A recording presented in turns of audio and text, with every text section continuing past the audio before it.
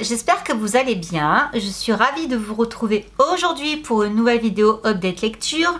Mais avant tout, je tiens à m'excuser de ne pas avoir posté de vidéo ces deux dernières semaines il me semble. Mais tout simplement, bah voilà, j'ai pas avancé plus vite que ça dans mes lectures. Je me suis également mise euh, au coloriage, ça me détend. Voilà, j'aime bien des fois alterner. Voilà, j'ai des phases comme ça où je lis un petit peu moins parce que je me mets à une autre activité. Le coloriage en somme, ça fait longtemps que j'en fais, mais euh, là j'avoue je suis passée à un, mode, euh, j'essaie de, ne plus colorier pardon, comme une enfant, mais comme une adulte. Donc euh, je me suis également rendu compte sur les chaînes de colo qu'en fait beaucoup de booktubeuses faisaient du colo. Du coup je me suis dit bah moi qui adore partager tout ce que je kiffe, naturellement, sinon je ne serais pas là, j'aurais pas également une deuxième chaîne beauté. Donc je me suis dit, bah pourquoi ne pas faire euh, une vidéo par mois? Allez, parce que c'est pas non plus la, la grosse thématique de ma chaîne, mais pourquoi pas faire une vidéo par mois euh, de colo? Je vous montre euh, mon matériel, un petit peu voilà mon, mon avancée. Voilà, j'espère que ça vous plaira. Ça va arriver là, euh, très très bientôt. Donc euh, voilà, c'est ce qui est prévu prochainement sur cette chaîne. Donc euh, il y aura toujours des bouquins naturellement. Peut-être pas, comme je vous dis, toutes les semaines maintenant parce que je lis un petit peu moins. En plus, ça, la période s'annonce assez compliquée pour plein de raisons que je vous expliquerai très bientôt. Voilà, c'est encore des projets qui sont concrets, mais qui sont un petit peu euh, freinés par tout ce qui se passe en ce moment. Mais voilà, je vous raconterai tout en temps et en heure. Et voilà, je voulais juste vous prévenir un petit peu de, ce qui allait se passer dorénavant sur la chaîne. Donc il y aura toujours des livres, mais je vais aussi vous parler de colo. Je trouve que voilà, ça va bien ensemble, donc pourquoi pas. Mais j'ai quand même trouvé euh, le moment de faire euh, quatre belles et moins belles découvertes par rapport au Pumpkin Autumn Challenge. Donc euh, on va commencer par le gros coup de cœur. Il s'agit de Surface d'Olivier Norek. Donc là je ne pense pas vous apprendre euh, quelque chose avec ce roman, mais il est vraiment vraiment génial. Donc en fait pour vous résumer l'histoire, même si je pense que tout le monde la connaît, il s'agit d'une... Euh, alors je ne sais plus si elle est lieutenant, elle est capitaine, voilà. C'est une capitaine de police qui lors, lors d'une perquisition, on va dire, euh, elle se prend un, coup de fusil dans la tête. Donc euh, elle n'en meurt pas, mais elle se retrouve, euh, elle se retrouve défigurée quoi. Donc comme ça gêne un petit peu son unité de la voir comme ça, parce que ça, ça rappelle de mauvais souvenirs, ça rappelle à quel point leur métier est dangereux. Du coup ils vont l'envoyer à Decazeville, voilà, bien loin, pour un petit peu faire le ménage dans le commissariat du patelin et pour en gros voilà voir s'il faut le fermer ou pas. Donc il envoie un petit peu faire le sale boulot. Euh, bon, elle n'est pas très contente hein, de partir naturellement, mais elle va quand même se rendre sur place. Et en fait, il va y avoir la découverte d'un cadavre qui date de plusieurs, plusieurs années et qui du coup va ressortir, on va dire, euh, des tiroirs euh, poussiéreux, une affaire qui n'a jamais été résolue. Et donc voilà, notre, notre héroïne va se faire un plaisir de, résoudre. Donc voilà, je vous en dis pas plus, mais je peux vraiment vous dire que j'ai adoré, j'ai beaucoup aimé également le personnage, je ne sais plus comment elle s'appelle, mais euh, elle est vraiment badass, hein. je veux dire, euh, après ce qui lui est arrivé, euh, enfin... elle est vraiment admirable, elle a une force de caractère et en même temps voilà c'est pas c'est pas non plus Wonder Woman quoi, elle reste assez abordable. On arrive quand même un peu à s'identifier à elle en s'imaginant, voilà, si ça devait arriver dans la vraie vie, comment on réagirait. Voilà, on ne parle pas euh, de, de quelqu'un qui a une force euh, surhumaine au niveau mental. Non, non, bien sûr qu'elle en a des séquelles. Mais je trouve que voilà, tout est... Dans la psychologie en tout cas du personnage, je trouve que tout est très cohérent. Et, et à côté de ça, l'enquête qu'elle va mener est hyper intéressante. C'est vraiment, pour vous dire, ce bouquin, je l'ai ouvert un matin, euh, je l'ai refermé quand je l'ai terminé, le soir. Voilà, j'ai pas réussi à, en décrocher. Et bon, la fin, à un moment donné, je me suis dit, ouais, ouais, bof. Et il y a un, un, coup de théâtre qui là m'a laissé en mode, ah d'accord Ah mais ça je m'y attendais pas du tout Là oui, là d'accord Donc voilà, c'est j'ai failli être déçue de la fin. Et finalement, voilà, il s'est passé le truc. moi, j'aime bien être surprise avec un thriller. J'aime pas voir le truc arriver. J'attends le dénouement, mais je me dis, ouais, je suis sûre que c'est ça, je suis sûre que c'est ça. Et en même temps, si j'ai raison, je vais être déçue parce que du coup, je l'ai vu arriver, vous voyez. Et là, pouf, c'était. Oh, ça m'a chamboulé. J'ai adoré. Donc, ouais, ça m'a bien perturbé parce que ça a remis du coup plein de choses en question ça m'a déçu aussi, mais ouais, franchement, j'ai kiffé, j'ai surkiffé, donc pour moi, c'est un gros, gros coup de cœur. Ensuite, ce roman, depuis le temps que je voulais le lire, il s'agit de 6 ans à t'attendre aux éditions Fleuve Noir, et euh, non, Fleuve, Fleuve Noir, Fleuve, et c'est de Delphine Giraud. Alors là, il s'agit euh, d'un couple, donc c'est, euh, comment il s'appelle, Rachel et Vincent, qui sont ensemble depuis, depuis l'école, c'est genre le couple, le couple d'inséparables. Voilà, on les imagine pas euh, l'un sans l'autre. C'est le couple archi-fusionnel qui s'aime au-delà de la raison, au-delà de tout. Euh, voilà, to the moon and back. Et, euh, eh bien, Vincent va avoir un accident, sauf qu'on va jamais retrouver son corps. Et des années après, bah, six ans plus tard, elle le croise à Paris loin de chez eux. Hein. Elle vient à Paris pour travailler et euh, elle le voit. Donc euh, est-ce un sosie? Est-ce vraiment lui? Voilà. Euh, bon, sans suspense, hein, on comprend en lisant la quatrième de couverture que bah non, hein, c'est lui, mais pourquoi? Qu'est-ce qu'il fait là Qu'est-ce qui s'est passé Il est censé être mort, même si on n'a jamais retrouvé son corps. S'il n'était pas mort, il serait manifesté avant, donc qu'est-ce que c'est que ça? Alors apparemment c'est le premier roman de l'autrice. Je l'ai ressenti à certains moments, mais pas au niveau de l'histoire, pas au niveau de... C'est au niveau des dialogues des personnages en fait. Alors je sais qu'ils sont pas censés être très vieux, ils doivent avoir quoi, 25 ans? Mais j'ai trouvé par moments les dialogues un petit peu légers. J'avais plus l'impression d'entendre, euh, enfin de lire plutôt des, ados discuter. Enfin je sais pas, il y avait des, des légèretés dans les dialogues qui m'ont un peu agacé à certains moments. Je non, j'aurais pas tourné ça comme ça, j'aurais fait quelque chose de... Au, vu du sujet traité, j'aurais employé euh, un autre langage pour, euh, pour les personnages quand ils s'adressent entre eux, mais bon, bref. Passons, c'était juste le petit point négatif que j'ai à dire, parce que le reste, euh, est assez captivant, il y a quand même des, des, petits rebondissements également, et le point final de l'histoire... Je dirais pas qu'on le voit venir, parce qu'il y a quand même beaucoup d'explications pour que, voilà, mais bon, on va dire, je m'attendais, je m'attendais à quelque chose dans ce style-là.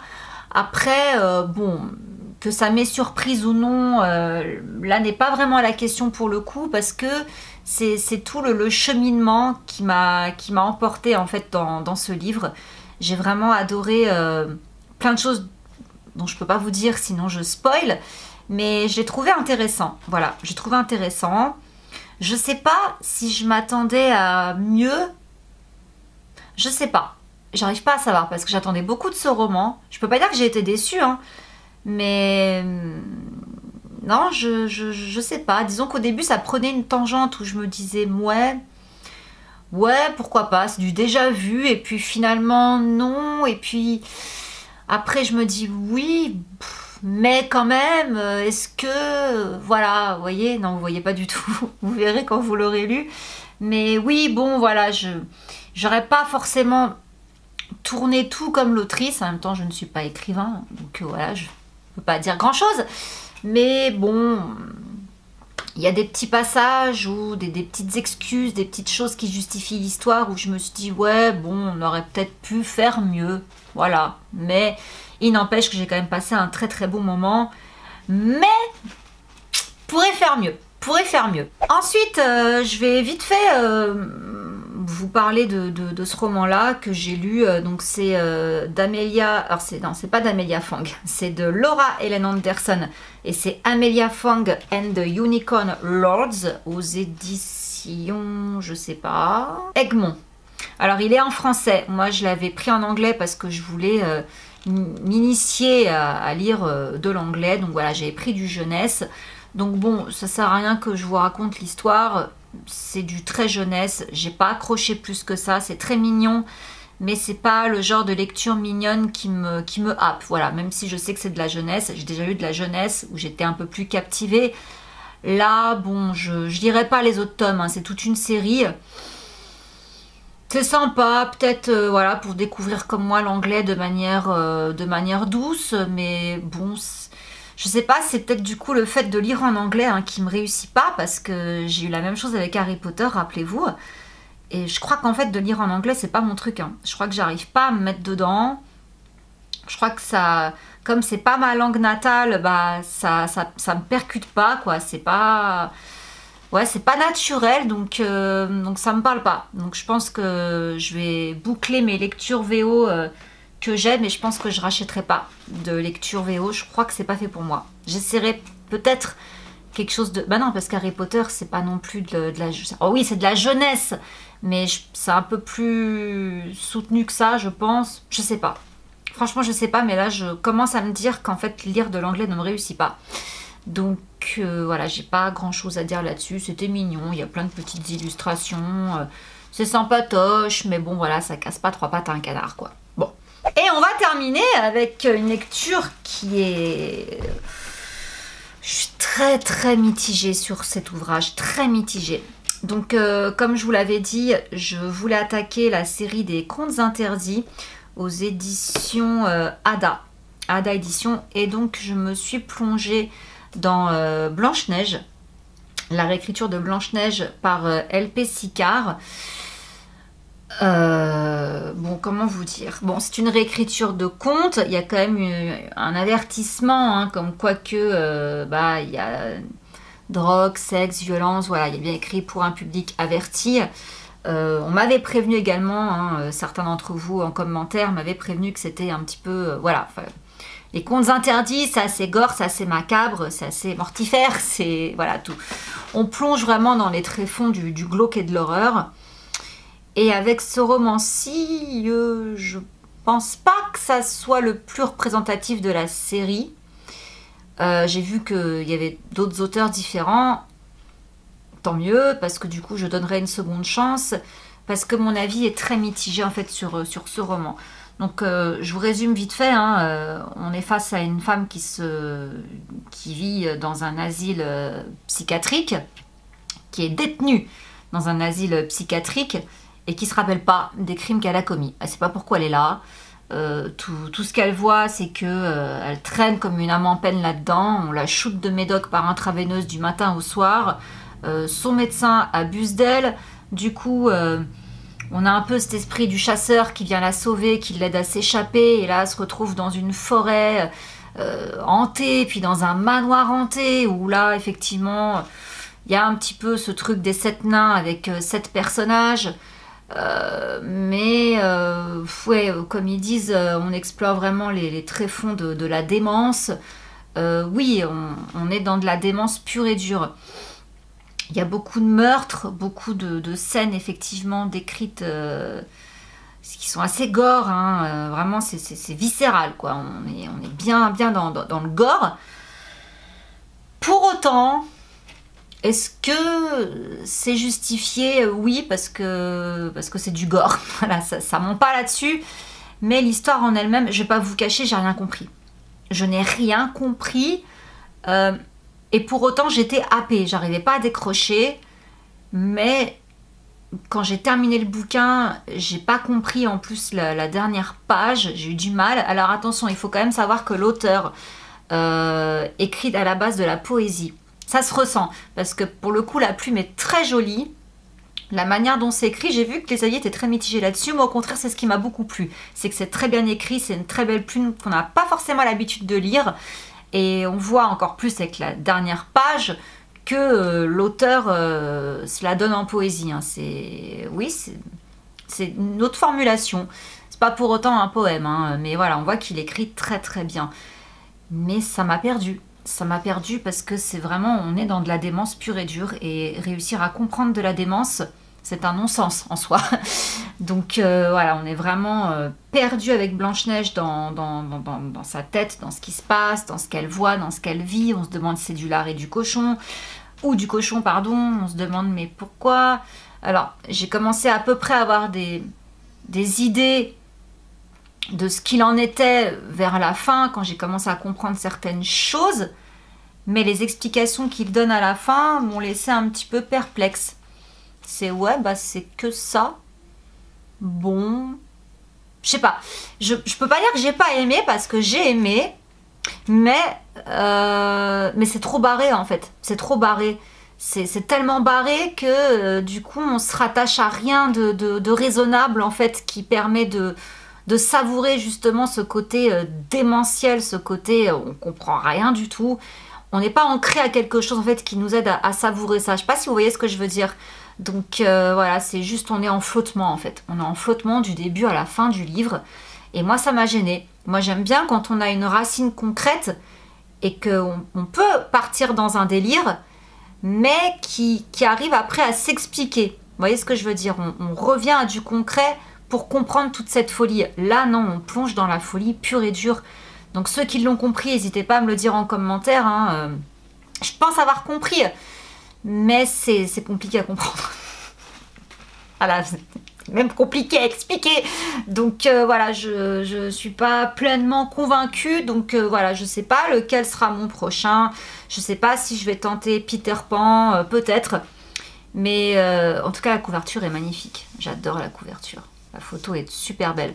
Mais je fais des très belles photos d'ailleurs avec sur mon compte Instagram. Je t'invite à, aller checker j'ai mis en scène et tout, genre, bref, je m'égare. Mais ouais, je, je, je, sais pas trop. Je peux pas dire que j'ai pas aimé. Mais c'est spécial, c'est très spécial. Donc euh, si vous vous plongez dans celui-là particulièrement, parce qu'encore une fois, je n'ai pas lu les autres de cette série, attention, attention. Voilà. Eh bien écoutez, euh, on va s'arrêter là pour aujourd'hui. J'espère que ça vous aura plu, mes, petits avis. Et puis bah, écoutez, si c'est le cas, n'hésitez pas à me partager euh, vos retours, vos expériences, votre ressenti sur ma personne dans cette vidéo, sur tout ce que je vous ai raconté dans les commentaires. Et puis voilà, sinon j'espère que vous allez tous très bien, que vous faites attention à vous, que vous ne déprimez pas trop avec euh, les nouvelles mesures qui ont été prises. La prochaine vidéo sera sûrement une vidéo du coup colo J'espère que ça vous plaira. Et on se retrouve très vite pour une vidéo booktube. En tout cas, j'espère, si j'arrive à, lire un peu plus vite. On se retrouve très vite. Je vous fais plein de gros bisous. Bisous, ciao